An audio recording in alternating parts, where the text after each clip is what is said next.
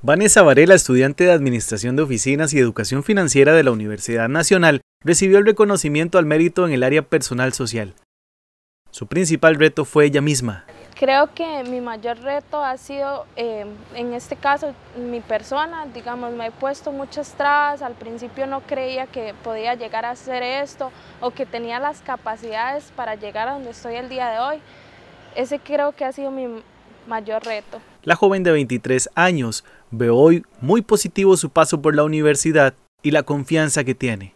Ver, verme hoy aquí donde estoy, ver todo el recorrido atrás, esa niña inocente que llegó eh, con esa eh, timidez, que no se podía desarrollar, que no podía hablar, que no podía dar la opinión y verme ahora que, que me llevo con muchas personas, que tengo voz, eso es lo más importante, que ahora yo tengo voz para la universidad, que puedo opinar, que me autodefiendo de cualquier injusticia, que...